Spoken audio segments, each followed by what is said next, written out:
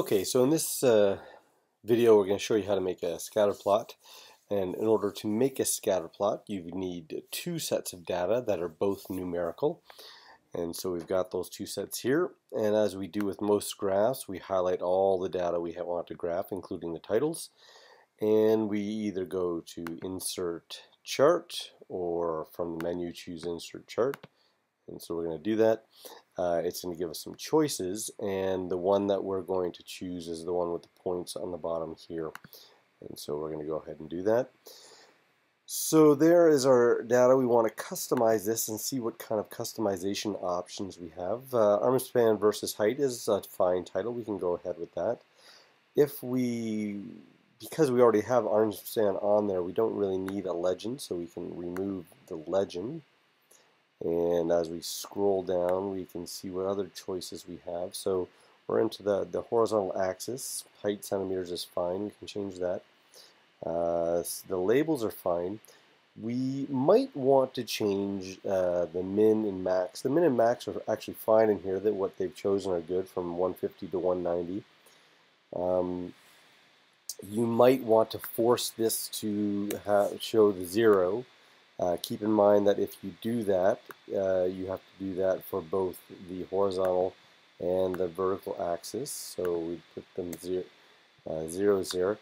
If you do that, however, though, you might end up with the data all in one corner, and so you might just be better off to keep them uh, the way they were at the beginning with uh, just maximizing the view.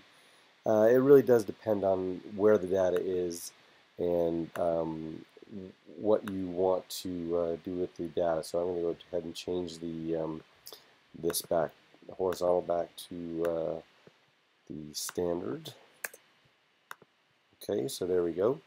Uh, again, with the grid lines here, uh, this number uh, chooses the number of uh, grid lines. So the major ones are the ones that have the numbers on them. The minor ones are ones that will just show up in between.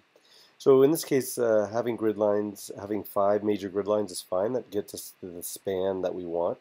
We may want to put some minor grid lines in here, and so we want um, probably the individual ones to show up. And so um, now you might think that because we're going from 150 to 160, we want to use 10 as the value.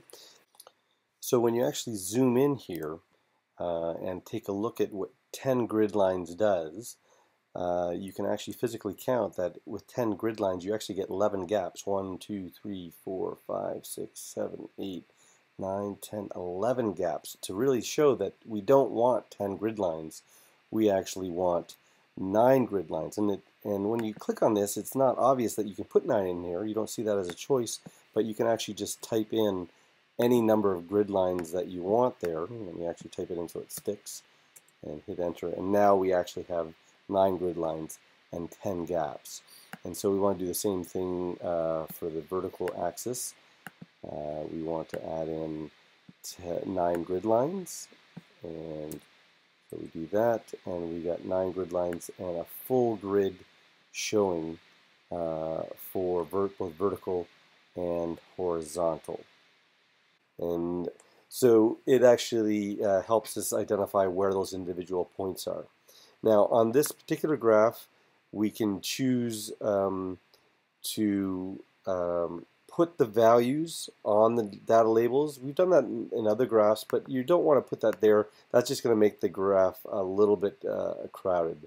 Uh, that's why it suggests putting the grid lines on there, and that will just uh, give you the individual values, which you can find out just by putting your mouse over the, over the individual values. Uh, you may want to add a trend line. Uh, you can do that uh, at the bottom here and just choose uh, trend line if you think that's linear or not. And that pretty much sums up everything you need to know for the graph. I'm going to put insert now and we can uh, place that where we want, resize it, and it's all set to go.